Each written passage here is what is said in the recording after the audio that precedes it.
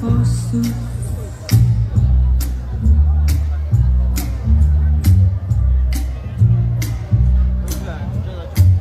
Captain Smith and Pocahontas had a very mad affair. When her daddy tried to kill him, she said,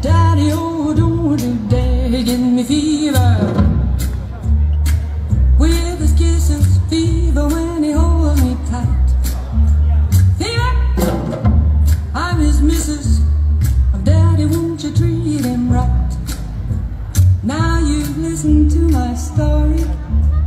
Here's the point that I have made.